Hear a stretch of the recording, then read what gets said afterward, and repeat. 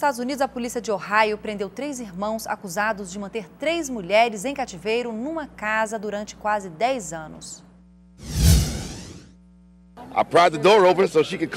Esse vizinho disse que ouviu gritos e arrombou a porta. Uma mulher saiu com uma criança de 6 anos e disse que era Amanda Berry, uma adolescente sequestrada em 2003, um dia antes de fazer 17 anos.